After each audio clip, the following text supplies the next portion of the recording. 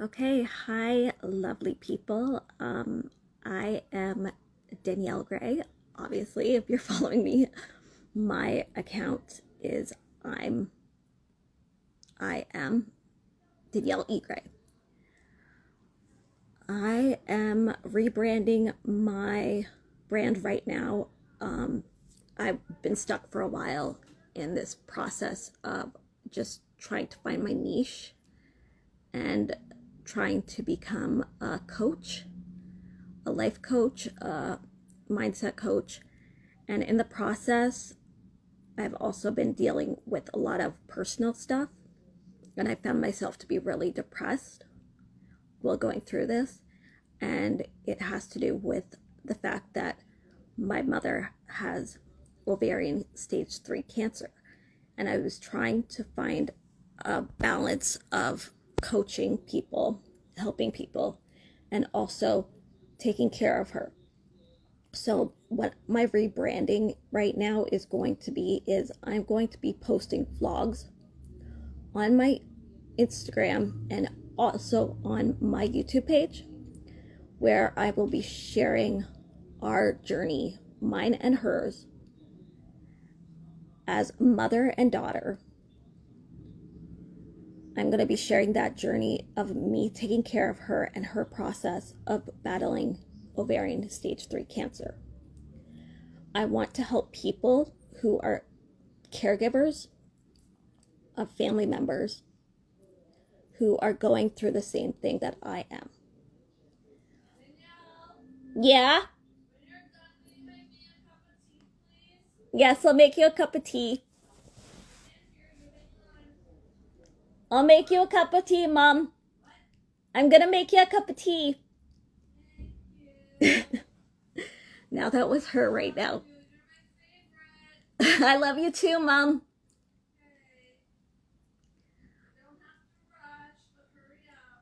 okay. Um, as her caregiver, I have found that my um, community is very limited at the moment because I can't really leave the house. Um, I'm a 35 year old woman who is taking care of my mother, and I don't really have a personal life. Yeah? Today's Monday. Monday? Yeah. Yeah. Okay, that was her again. Sorry about the interruptions. She just, she's so sweet. She just wants me to remind her of stuff, and she's just being hilarious. she's just being hilarious and asking me questions right now. Um, anyways. anyways, I'm going to be posting vlogs about our journey, uh, about our journey as me as her caregiver and her going through this journey of her battling stage three ovarian cancer. And um, I want to help people who maybe don't know a lot about stage three breast cancer, maybe don't know a lot about um, caregiving. I'm in Canada, so like caregiving is different than in the States, and I'm located in Ontario, which might be different in a different province care of caregiving. I am a full time caregiver to my mother because she cannot be left alone because she might fall and she's not allowed to fall or hit her head. The doctors have stated that she needs somebody in the house with her, which is not a problem for me. I've chosen to do this out of love because I want my mother to hopefully survive her battle so she can see her grandkids that hopefully one day I'll be blessed with having kids and she'll be able to have kids. But right now it's just I'm focusing my my priority is to focus on her. And I figured that since I can't do coaching and take care of her at the same time that I would mesh my personal life together and create a new kind of brand that would uh, be me vlogging about our journey because I think that it's a very inspirational but also very difficult journey to be on, uh, especially when I'm the oldest out of three out of three kids, and um, I'm mostly doing this. I feel like I'm mostly doing this by myself. I don't get days off. Um, I'm really burnt out most of the time. Uh, we find humor in what what we're both doing because it's teamwork. She's battling something, and we have to make jokes and we have to stay strong. And it's really lonely for her because she doesn't have an immune system, and I have to have a very close unit of people where I don't get sick because she can't get sick because that could lead to her going into the emergency room that could lead to her dying. So I want to educate people where I'm at right now in my life so I can help other people. That is my main goal.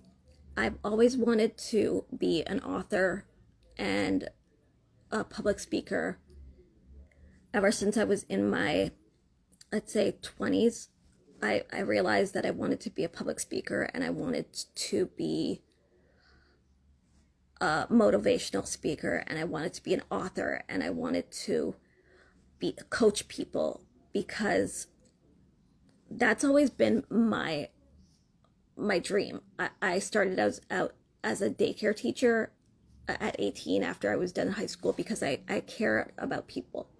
Then I went into cooking because to me cooking is love, an expression of love. So that's what I started doing and I went to chef school and then as time went on, uh, I had a nervous breakdown and uh, I couldn't do the cooking anymore. It was taking too much. Yeah? Okay. Okay. Thanks, Mom. And I I just I couldn't handle the chef industry anymore and I just wanted to I didn't know what I wanted to do. And I found myself having a nervous breakdown because I felt like I lost my identity when I stopped working. And eventually I found my identity again with my mom and I when we have we opened a publishing company and we started to help people there and I started illustrating her books for her and started to do the social media stuff. And I was also caregiving for her because she had she had chronic pain at the time. So I was doing that and I had a lot more freedom at the time to go out, but she was diagnosed a year now of stage 3 ovarian cancer and um, I've been taking care of her for a year now. We've also moved, so I'm unpacking a lot of our stuff. It's taking a really long time because I'm doing it solo. But my main thing is to take care of her. And I figured why not why not show people what it's like on a daily basis of me one person taking care of her?